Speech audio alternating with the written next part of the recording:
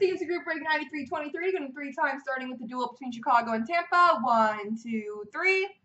Tampa Bay and the Buffalo Detroit. One, two, three. Detroit, there we go.